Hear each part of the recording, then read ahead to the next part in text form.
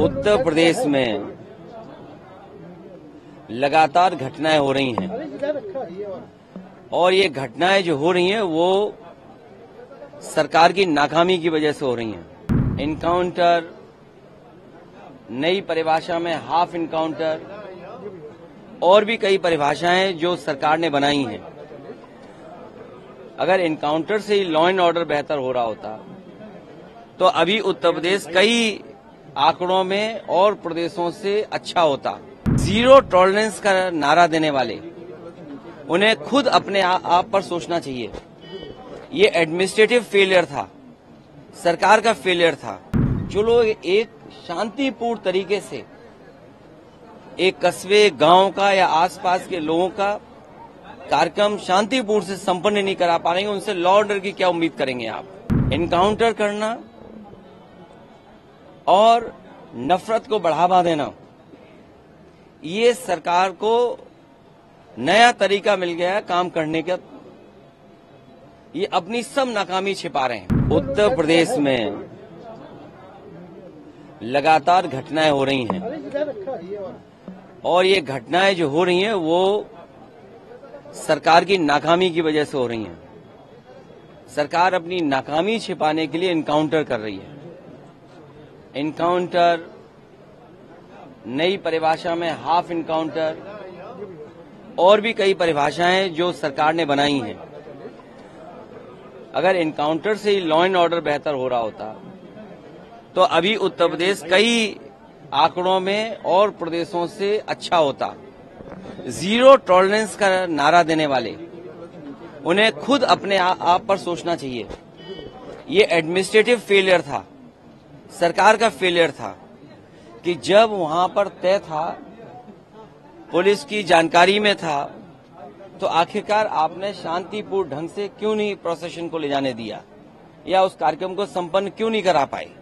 जो लोग एक शांतिपूर्ण तरीके से, एक कस्बे, गाँव का या आसपास के लोगों का कार्यक्रम शांतिपूर्ण से संपन्न नहीं करा पा रहे हैं, उनसे लॉ ऑर्डर की क्या उम्मीद करेंगे आप? और फिर ये इनकाउंटर हाफ़ इनकाउंटर ये डराने के लिए हैं।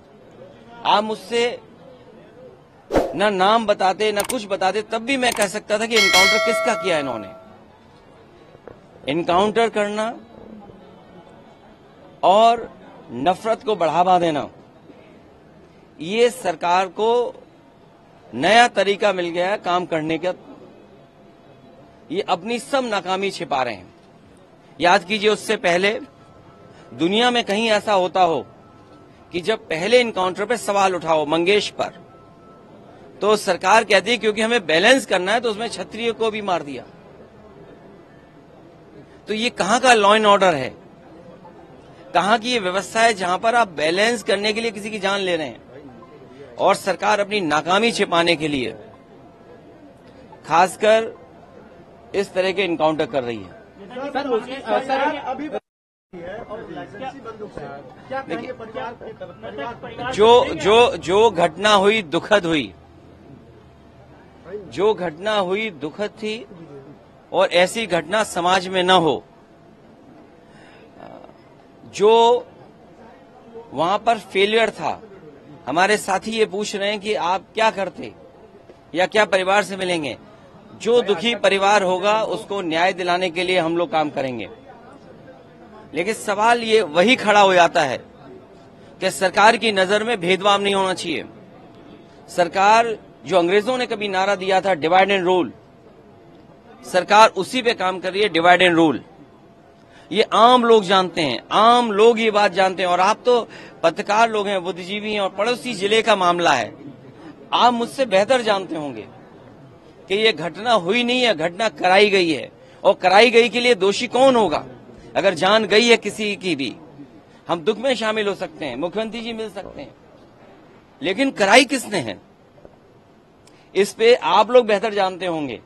यहाँ एक कोई पत्रकार ऐसा नहीं है जो न जानता हो कि ये घटना रोकी जा सकती थी, किसी की जान नहीं जाती। अगर जान गई है, हम दुख बांटने से ज़्यादा, जो आज सरकार भी दुख बांट रही है सरकार को इस बात पे दुख करना चाहिए था कि घटना क्यों हो गई होनी नहीं चाहिए थी। सर सरफराज की बहन का कहना ये है कि कल पुलिस ने गिरफ़्तार किया था और देखिए, एनकाउंटर दिखाया कल गिरफ़्तार ये ये उत्तर प्रदेश की पुलिस को बिगाड़ दिया है। उत्तर प्रदेश की पुलिस को बेहतर करने के लिए डायल हंड्रेड से लेकर के और सुविधाएँ दी। कई कार्यालय इन पुलिस के पास नहीं थे वो कार्यालय दिए। कई इंफ्रास्ट्रक्चर के काम किए सरकार ने। लेकिन जो पुलिस का तरीका हो गया है जब कभी भी जाँच होगी, बहुत से दोषी लोगों के खिलाफ कार्रवाई होगी, जेल भी जाएँगे। और आपको तो वो दिन भी याद होगा जिस समय अखबार में निकला था, इसी प्रदेश के, इसी सरकार के सबसे पहले डीजीपी उन्होंने कहा कि ये पुलिस जो आज इनकाउंटर कर रही है, कल इनके साथ कोई खड़ा नहीं दिखाई देगा। जो इनकी सरकार के पहले डीजीपी हों, वो इन पर सवाल खड़ा कर रहे हों कि ये जितने भी इनकाउंटर हो रहे हैं इनकाउंटर नहीं है। ये हत्या हो रही है।